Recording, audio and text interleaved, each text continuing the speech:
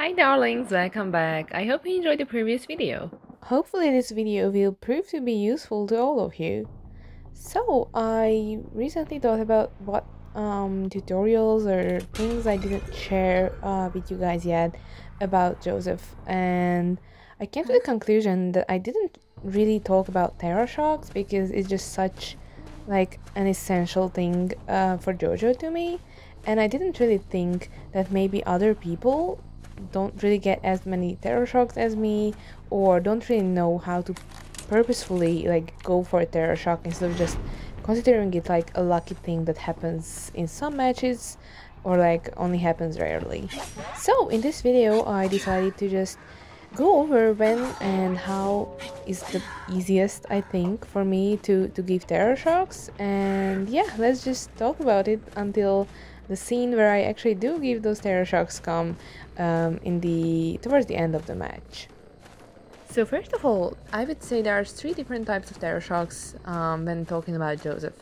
The first type is obviously, or like the most obvious for us, I think, and it's the jump scares, which means basically when you just pop out of photo world or pop inside of photo world and surprise the survivor, catch them off guard, and you know, uh, usually they are decoding but they can be like you know doing anything but yeah usually they are decoding when you do this and you just get that terror shock in and it's like very satisfying.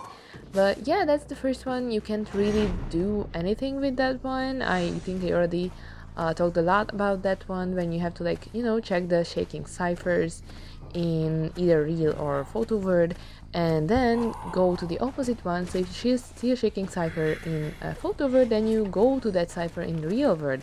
If uh, the opposite, then you do the opposite.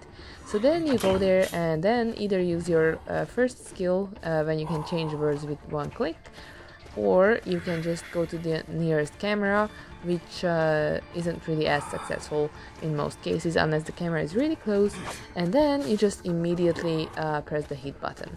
So basically that's the first type, there's nothing more to it, you just like have to get lucky um, and hope the survivor's reaction time is not as short so they can avoid it. The second type is um, when you manage to get a hit off of them while they are vaulting a pallet or jumping a window or basically these these are I think the rarest that you can give with Joseph. Maybe other hunters is probably different.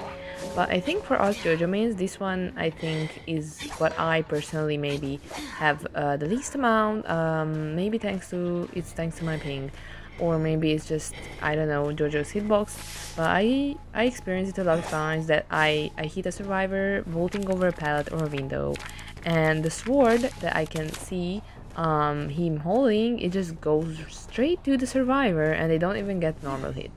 This might be some vaulting thing for the survivors, this might be JoJo's hitbox, or once again the ping that I sadly still can't really have, even though this uh, European server should help it. But regardless, let's go over to the third and last type, which I wanted to talk more uh, in detail about today. So that's basically um, giving a terror shock when they are saving someone on chair. You might think, and I think a lot of people say, that Joseph is not really a camp hunter. Like, there are very, very great camping hunters, like Galatea, for example. Um, as opposed to that, Jojo only has his uh, normal basic attack.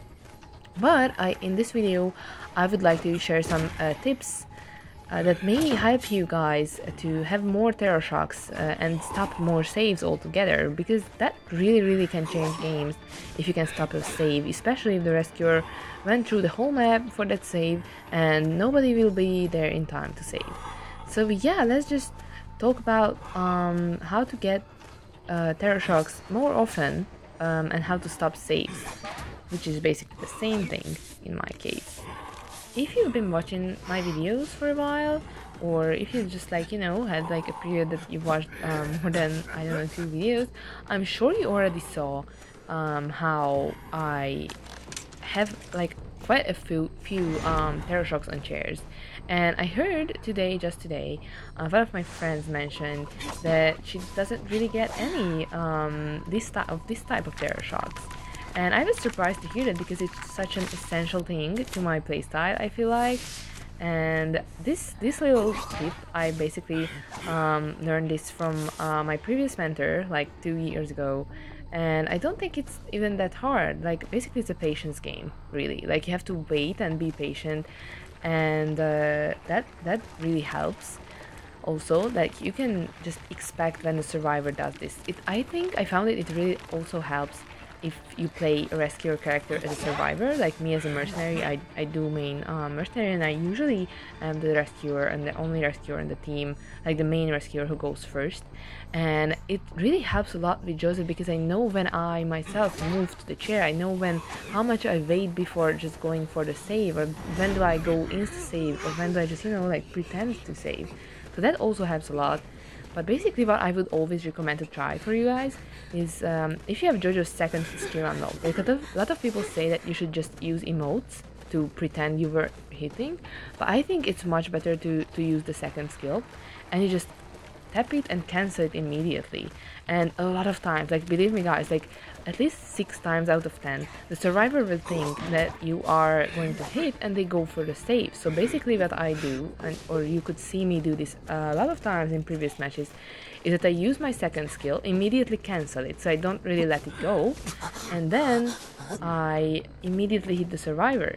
And that can give me a lot of terror shocks. So hope you guys find this tip useful and let me know how it goes for you guys because first time I heard this that I can actually with intent want to give a terror shock. Like I'm not just going for one hit and then let them save but I actually want to give a terror shock.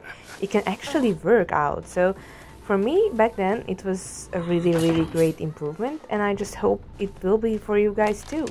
Now let me just show you exactly what I mean in a custom match so here we are with this beautiful tranquility skin and the first thing I wanted to show you a lot of people don't know is that look at that cipher nearest to me but behind the tree. It was shaking and this was basically the first type of terror shock I want to show you. You can either see the shaking cipher in uh, photo world or in real world. This is a customer so of course it's not uh, real players and the, the AI knows how to leave the cipher immediately but yeah, this is basically what the first um, Shock option is, what I was talking about. And this is the other I usually do when it's like really close to the ending of the word. And see, I even managed to, to um, Shock the, the bot itself. So yeah, this is the first type I mean when you use the jump scares to your advantage. You see which cipher they are at and then you just go for the terror shock. Either with going uh, with the first skill skill option when you um, just use that and that's how you go to real or for the word or you just wait for the word to end and that's how you do it. So the next thing I want to show you is the what I do before um, saving. So what I do um, ahead of the chair now you maybe can understand better what I mean. So basically hold the second skill and then let it go. Just pull it down or tap it whether, uh, I don't know how uh, the setting is for you. Just the thing is not to go through with it but cancel it so there is no cooldown. Um, and no little animation and this is where I show like you shouldn't stand this close to the chair. Jojo has a pretty nice hitbox so this distance is perfect because either side they the survivor saves from your hit will register so yeah, this is what you do. You basically just um, tap the little button, cancel it, and then hit immediately. That usually works because they expect you to hit the chair. And that concludes this little video. I hope you guys enjoyed this and I really really truly hope you can um, actually have a part of this that you can use and and have your matches better. Whatever it's the little shaking cipher thing which i think is more well known or this little tip that you don't have to wait for the the animations to go through. Just use the little second skill button let it go or like uh, cancel it and then hit. I hope it really does help you guys and I'm excited to hear about um, how it goes for you so please let me know keep me updated. And yeah that was all. I really hope you enjoyed. Let's meet in the next video. Goodbye. Don't forget to subscribe